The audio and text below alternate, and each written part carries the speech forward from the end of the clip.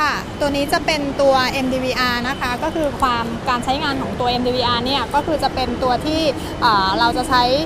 ในระบบของมีตัวเครื่องเป็นตัวรูดบัตรนะคะเราก็จะเป็น CCTV ในรถ เพื่อที่จะดูว่ารถตอนนี้รถเราอยู่ที่ไหนนะคะ สามารถครอบคลุมไปถึงตรงนั้นเลย แล้วก็รถที่ถ่ายเป็นยุคดิจิตอลทรานส์ฟอร์เมชันนำเทคโนโลยีเกี่ยวกับพวก AI บล็อกเชน IoT แล้วก็ในส่วนของพวกโดรนอะไรพวกนี้เข้ามาประยุกต์กับกลุ่มธุรกิจของลูกค้าทั้งหมดนะครับทีเนี้ยจะแสดงให้เห็นตรงแผนภาพในส่วนนี้ก็คือในใน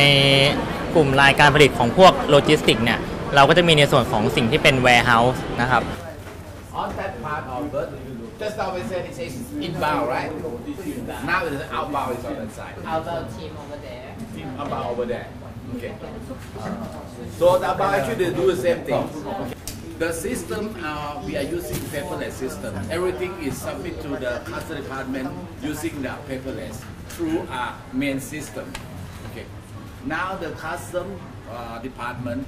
work with the several government agency, for instance FDA, okay, forestry, okay, and the fishery departments or Ministry of Commerce in order to control all the license.